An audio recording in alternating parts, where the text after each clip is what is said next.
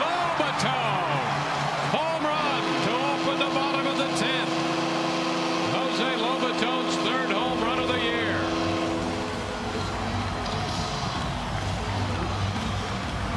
I'll tell you what, Jose Lobaton looking more and more comfortable at the plate.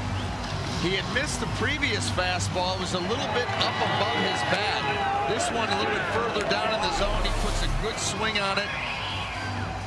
And boy, good reach We get the head out, full extension. Rays dugout knew it. Boy, a nice swing by Lobaton to get that one out of here.